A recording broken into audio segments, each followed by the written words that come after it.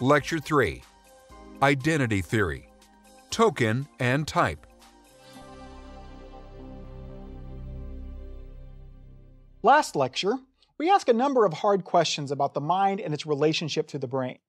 One theory about the mind that we considered and discovered was quite problematic was the soul hypothesis. But not only is the soul hypothesis problematic, it also fails to address one of the most difficult questions in philosophy of mind the hard problem of consciousness. Recall, the hard problem is the question of how brain activity produces mental activity. How is it that mental activity emerges from brain activity? Thus, the hard question assumes that mental activity emerges from the brain and thus is dependent upon it. Since the soul hypothesis denies this by supposing that mental activity exists separately and independently of the brain, it cannot answer this question. Of course, if mental activity was not dependent upon brain activity and did not arise from it, the hard problem wouldn't really be a problem. Our failure to answer that question would not be a concern. But, unfortunately for the soul defender, as we saw last lecture, mental activity is, in fact, dependent upon brain activity, and so the problem remains. Early attempts to develop theories of mind that answered these problems but didn't succumb to the shortcomings of the soul hypothesis probably sound strange to modern ears. Take, for example, logical behaviorism, which was a quite popular theory in the early 20th century. Behaviorism was motivated by a couple of things. First, because the idea that minds existed in a separable substance was so problematic, philosophers were highly motivated to find something in the world that they could point to and say, that is what the mind is. Second, logical positivism was a very popular theory at the time. Logical positivism suggested that anything that could be true must be able to be verified and that the meaning of a proposition literally is the method by which you would verify whether or not the proposition is true. Since a person's behavior was something in the world by which you could tell what mental state a person was in, logical behaviorists suggested that what it meant to say that someone was in a mental state was just that they were predisposed to behave in a certain kind of way. Mental states were thought of as behavioral dispositions the tendency to respond to certain stimuli in certain ways. All you have to do to verify that someone is in a certain mental state is to expose them to stimuli and see how they react. This theory was better than the soul hypothesis. It was simpler, it literally had fewer substances in it. It was also not subject to the problem of downwards causation, but it very quickly succumbed to multiple objections. First of all, people can behave in a way that is consistent with being in a mental state, but not actually be in that state. For example, an actor can pretend to be in pain, but not actually be in pain. In addition, people can have a mental state, but behave as if they do not, like someone who can ignore pain. Behaviorism also can't account for what mental states are like. Mental states have a certain kind of quality, a certain kind of feeling. There is something it is like to have them. Philosophers call these qualia. Saying that mental states are behavioral dispositions doesn't seem to fully appreciate this fact. Lastly, logical behaviorism is predicated upon logical positivism, which was abandoned once it was realized that it was self refuting. It suggested that which is meaningful and true is only that which can be verified. But there's no way to verify that. So logical positivism is false and meaningless by its own lights. But the failure of logical behaviorism did not make philosophers retreat back to the soul hypothesis. The desire to find the mind in the world was still very prevalent. As we continued to learn more about the brain, we realized that the reason that we have the behavioral dispositions that we do is because of our brain states. Our behavior is caused quite literally by events in our brain. And so a new theory emerged that held our mind states to be identical to our brain states. It was called identity theory. D.M. Armstrong explains the move from behaviorism to identity theory using an analogy. Consider the brittleness of glass. One way to describe or account for the brittleness of glass is to say it has the disposition to break easily when struck lightly. But, while this is true, it does not seem to be the whole story. The reason that it shatters easily when struck lightly is because it has a certain kind of physical structure. Thanks to science, we now know what that physical structure is. Glass is brittle because it does not have good large area orderly crystalline structure. So now we can say that something is brittle because it has that kind of physical structure. In fact, we can identify the brittleness of glass with the kind of physical structure that it has. To be brittle just is to lack a good large area orderly crystalline structure. In the same way, we have learned that our behavioral dispositions are caused by our brain structure. To be disposed to behave a certain way just is to have a certain kind of brain structure, for our neurons to be configured and firing in a certain kind of way. Since behaviorists identified our mental events as behavioral dispositions, and we came to learn that behavioral dispositions were a certain kind of brain event, it was quite natural to in turn claim that certain types of mental events are identical to certain types of brain events. But to fully understand what this theory amounts to, a couple words of clarification are in order. First of all, when an identity theorist says that mind and brain are identical, they are using the term identical in the most literal sense possible. Think again about Clark Kent and Superman. Lois Lane thinks they are different people. She's mistaken, but that's what she thinks. In reality, of course, Clark Kent is Superman. They are one in the same person. Superman is Clark Kent in a cape. Clark Kent is Superman in a suit and glasses. They are one in the same person. Philosophers call this numerical identity. Identity theorists suggest that minds are numerically identical to brains. The first identity theory was called type identity theory. It suggested that every type of mental event was identical to a certain type of brain event. So, for example, if there is a certain kind of neural fiber that fires in brains every time someone is in pain, for a long time they were called C fibers, then pain just is C fiber firings that type of mental event is identical to that type of brain event. Type identity theory has quite a few advantages. It coheres very nicely with what we know about how the brain works. The reason that specific mental events and functions go away when someone's brain is damaged is because the brain is identical to its mental functions. Naturally, when the brain is damaged, the mind is damaged. It also avoids any problems of downwards causation, and if true, completely solve the hard problem of consciousness. If mental events are numerically identical to brain events, we need not explain how one can causally affect the other. How does your mental event of being in pain cause your hand to jerk away from the hot stove? There is no need to account for that, any more than there is a need to account for how Superman flying out a window also makes Clark Kent fly out a window. If they are one and the same thing, the relationship between them needs no explanation. The hard problem of consciousness is also dissolved. We need not explain how mental events emerge from brain events if indeed they are numerically identical. Type identity theory ran into a problem, though, when we started thinking beyond ourselves. It is likely that there are intelligent species elsewhere in the universe. It's doubtful that they will ever visit our planet before we go extinct, it's even more doubtful that they have already visited our planet, but the universe is a really big place. It's likely that life has evolved somewhere else in the universe. But there is no reason to think that this alien life is biologically like us. They may not even have brains. And if they do, there is no reason to think that their brains will be the same type of organ that we have.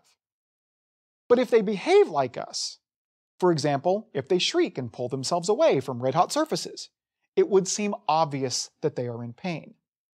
Yet, such creatures would not have the same type of brain events that we do. For example, they may not even have C fibers in their brains. Since type identity says that certain types of mental events are identical to certain types of brain events, since those aliens don't have the type of brain events that we do, they couldn't have the type of mental events that we do. They couldn't be in pain. But this seems clearly wrong. If the alien shrieks and jerks away from a hot surface, obviously it's in pain. So this seems to be a shortcoming of type identity theory. The way philosophers express this shortcoming is this. Type identity theory doesn't seem to account for multiple realizability. It seems that pain is multiply realizable.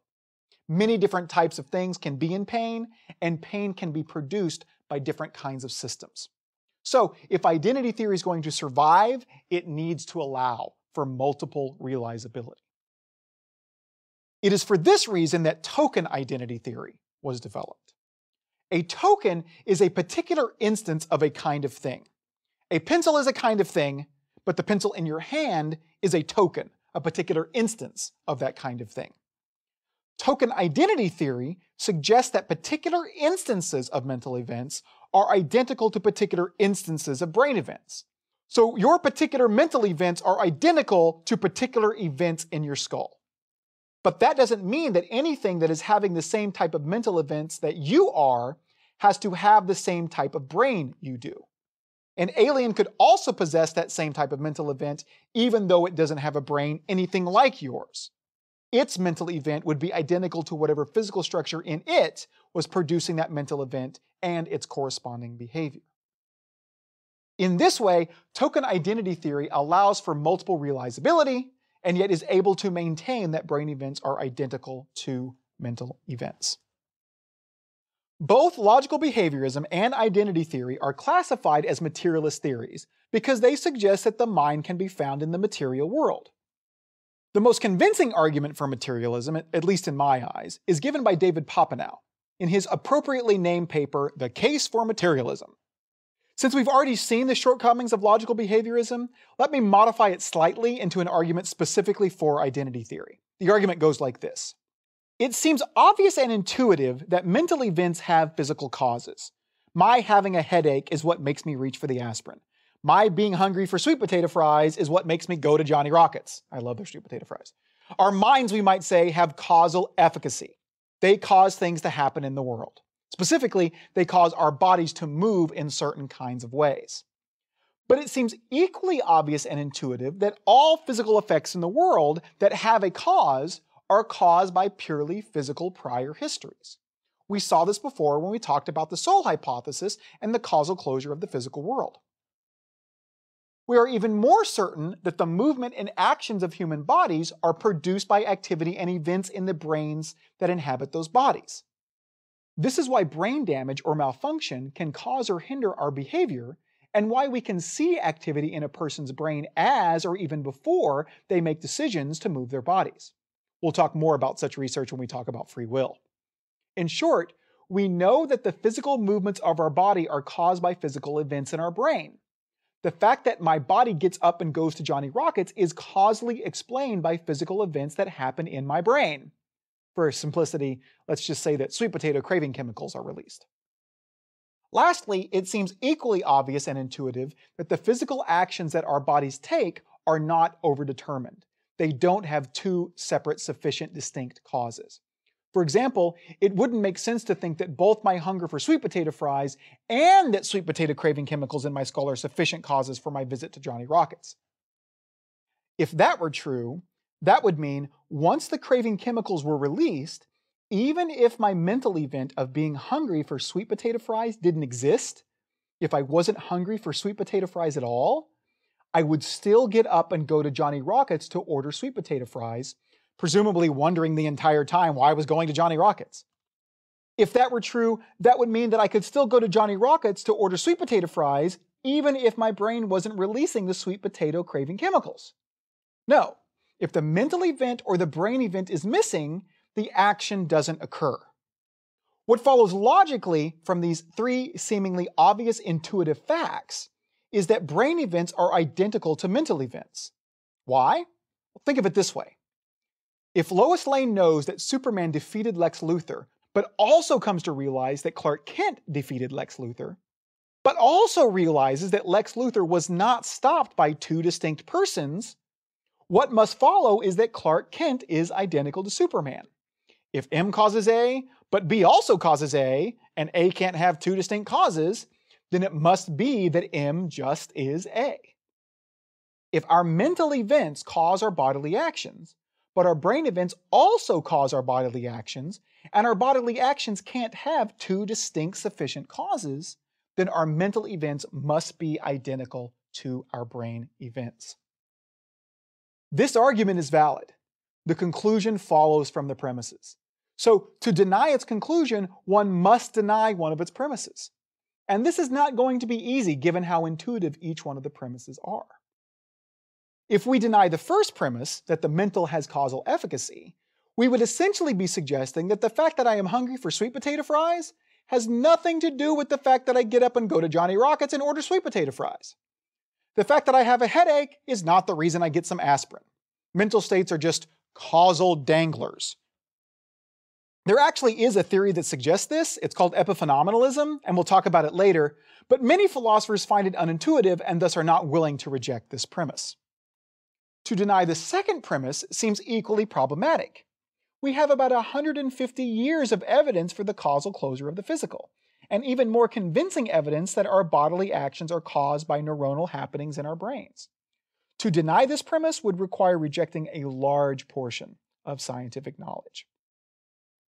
To reject the third premise, that our bodily events can be causally overdetermined, is to accept what philosophers call the belt and braces view, or for those of us who aren't English, the belt and suspenders view. Someone who wears both a belt and suspenders is making doubly sure that their pants stay up. But of course, if either the belt or suspenders were missing, their pants would still stay up. Someone who thinks that our bodily actions are caused by both mental and physical events thinks our bodily actions are doubly assured, but is also committed to thinking that if either one of those things were missing, either the mental events or the brain events, that the bodily event would still occur. And as we noted before, this seems quite odd. Of course, one might maintain that the mental always accompanies the physical, that is, that the mental always accompanies the brain events in question, but if they really are separate distinct happenings, it's unclear why this would be the case.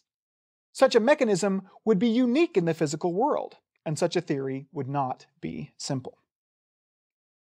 But despite the persuasiveness of this argument, identity theory still faces some major objections and questions. The most significant objection is what I will call the qualia problem. To understand the problem, one must first understand a basic rule in philosophy, the indiscernibility of identicals. The basic idea of the rule is this. Suppose we have some object A and some object B, and we are wondering whether or not A and B really are the same object.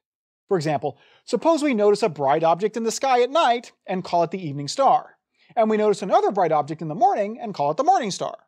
We might legitimately wonder if the morning star and the evening star are actually the same object. Are we just seeing the same thing from two different angles at two different times of day? If the answer is yes, then it must be that the morning star and the evening star have all of the same properties. They can't be at different locations at the same time. One can't be hot while the other one is cold. For any given property that one has, the other must have it. Certainly, if I can identify a property that the morning star has but the evening star can't have, or vice versa, it would be clear that they are distinct objects. As I mentioned last lecture, the morning star and the evening star are the same object. They're both the planet Venus. But this means that the morning star and the evening star share all the same properties. The evening star is out in the morning, we just call it something different at that time. So, if brain events and mental events are numerically identical, if they are one and the same thing, then they must share all the same properties. One can't have a property that the other lacks, and it certainly can't be the case that one possesses a property that the other can't have. Yet, this is exactly what seems to be the case. For example, think about something that you believe. Pick anything. Got it in your head? Okay, now ask yourself where is that belief located? I'm not asking about the brain event that produces the belief, I'm asking about the belief itself. Does your belief have a location? Of course not. Location is not a property that mental events like a belief can have. Or what about your desires? Your love for your significant other? Do those have locations? It seems not.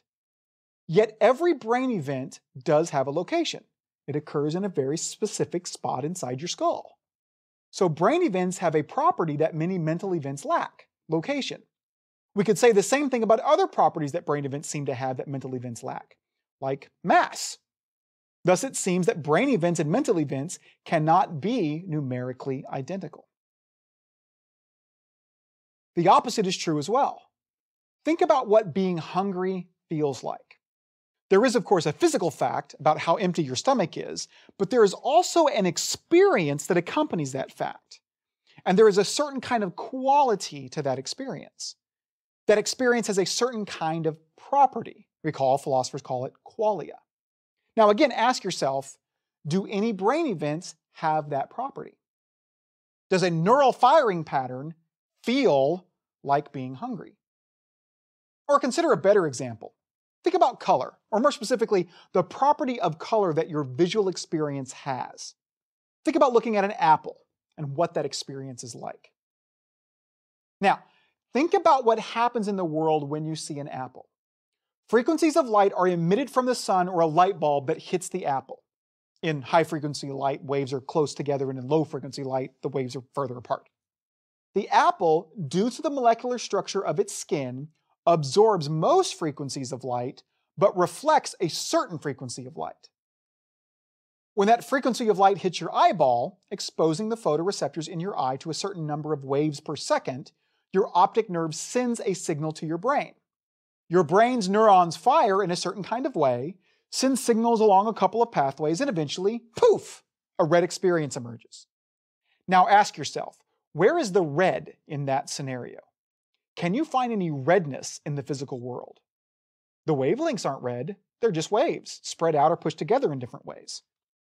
That frequency of light is not a color, it's just a collection of waves.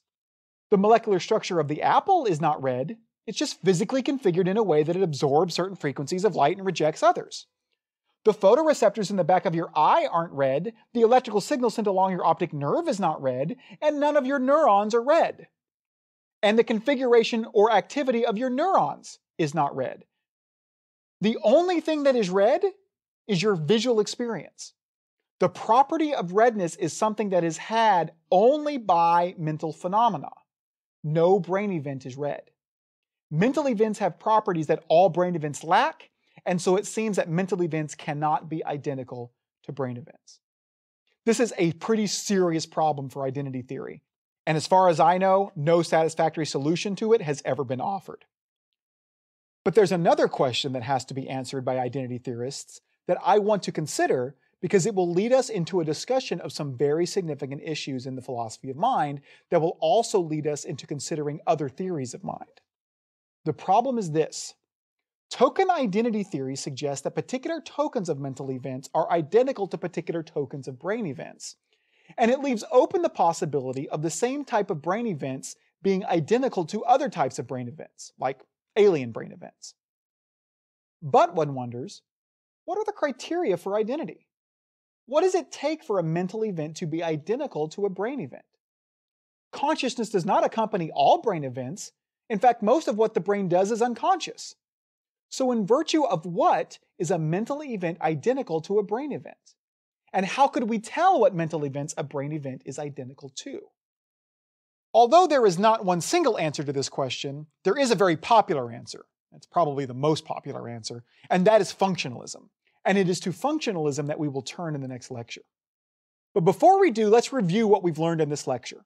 We've been exploring the nature of the mind and the hard problem of consciousness, which are both fundamental issues within the study of metaphysics, which is concerned about the nature of all reality, including the mind.